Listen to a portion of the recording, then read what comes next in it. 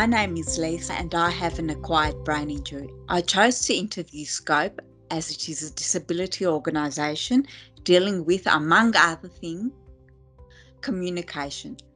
When it comes to communication access, is there a difference between the support provided to people with disabilities and the support provided to their families and those close to them?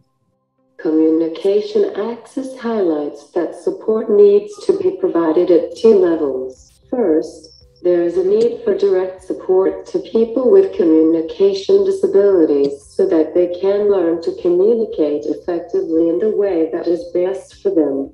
This is where the support for individuals and families is so important. These days, I hope the support for these two groups wouldn't be too different. I hope the parents would be in sync and supportive of how their child can and wants to communicate and what they want to do with their life, as opposed to the past where parents may have had low expectations for their child and staff may have had to assist parents to let their child learn and experience different ways to communicate and have goals for themselves. The second level of support is that which is provided to communities, and this is where Scope's communication access work has the greatest impact. It supports the broader public and staff who hold the key to unlocking the inclusion and participation for everyone. It may be staff at a train station, staff at a bank, staff at your local council, cafe, or gym. In this way, the community becomes aware, skilled, and confident to communicate with people with communication difficulties and people with communication difficulties and their families benefit in feeling they can go anywhere and feel welcomed and comfortable. Thank you. That was quite comprehensive. Barb? We know that historically the emphasis has been on training the person with a communication disability. We know that it's only half the journey towards achieving inclusion and participation. We need to give skills, insight, awareness to members of the community. And this is what communication access is it's moved away from the individual um, and onto the community. More and more, I think speech pathologists are beginning to realize that communication is a two way process and both parties need to be effective communicators and that the barriers are not necessarily in, in the individual, but the barriers are in the community and in people who are communication partners. And that's where we choose to put our effort into creating change so that people can be included. What changes are needed in the area of communication access to improve the lives of people with disability? For me, I would like to be able to go anywhere by myself and know my method of communication would be recognized and accepted in the same way as verbal communication. So, I suppose the changes needed are more education so that everybody recognizes and accepts various methods of communication. What evidence from the research shows us is that the key to access and inclusion is attitude change through greater awareness. A positive attitude is important for everyone with access needs, not only people with disability. There is great diversity in our communities, and everyone should feel welcome and respected. However, communication access goes one step further. It says positive attitudes must be accompanied by staff having communication skills and communication tools to help them communicate with someone who may not communicate verbally using speech.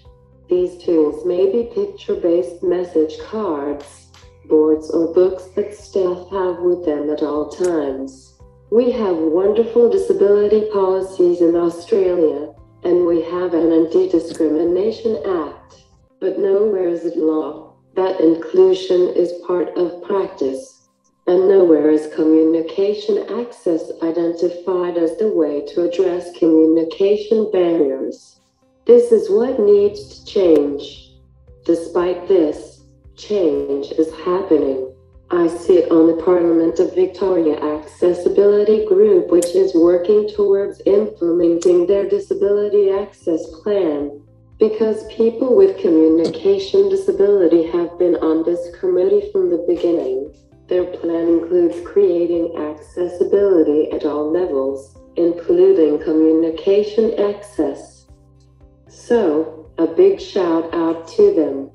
Scope has recently worked with a large bank to develop their first ever disability access plan.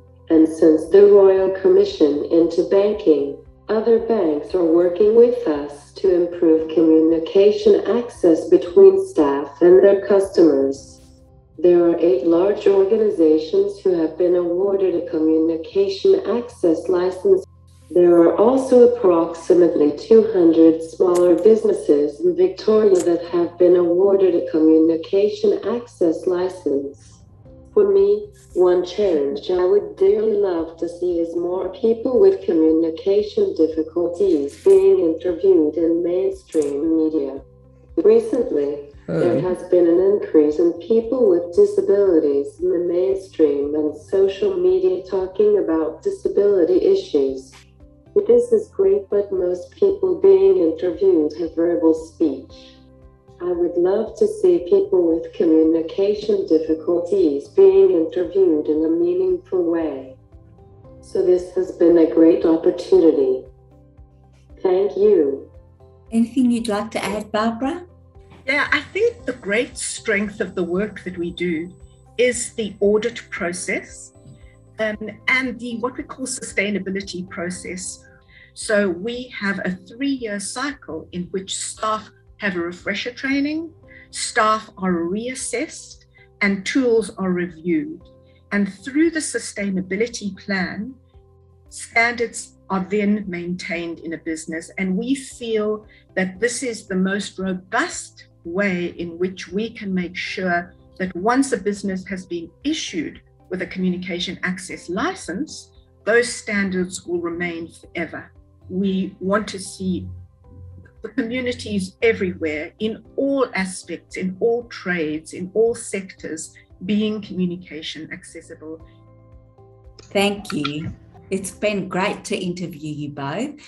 And I believe you're doing work which will hopefully amount to something really positive in the community.